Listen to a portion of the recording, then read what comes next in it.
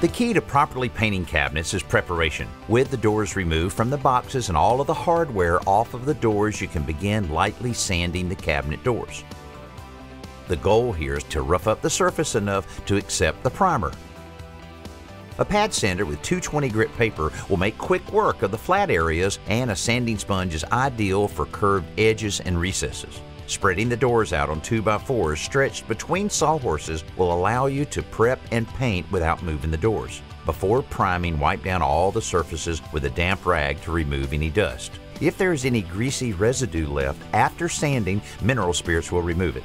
The next step is applying the primer which blocks stains and promotes adhesion. We're using a high volume, low pressure spray gun to apply both the primer and the paint. These sprayers are inexpensive and very user friendly, but the operator should be protected by a respirator. When you spray paint, it's important to keep the spray tip a consistent distance from the surface and make slow passes back and forth. Each pass should begin and end beyond the edge of the door so there's no buildup of paint on the edges. We're using the same sprayer on the cabinet boxes inside since the floors are covered and the room is sealed. In this case, we're painting the inside of the cabinets to avoid overspray marks or the need to mask each opening of the cabinets. After the primer dries, you may need to put in nail holes or caulk cracks and seams. Next, the finish paint is applied. Spraying the doors horizontally like this reduces the risk of drips which can mar the finish and are more common with spraying than brushing. Allow the two coats of finish paint to dry thoroughly before handling the doors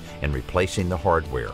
If you're changing the hardware, consider buying new hinges with the exact same footprint of the old ones. This will simplify installation and hide any indentations left by the old hinges.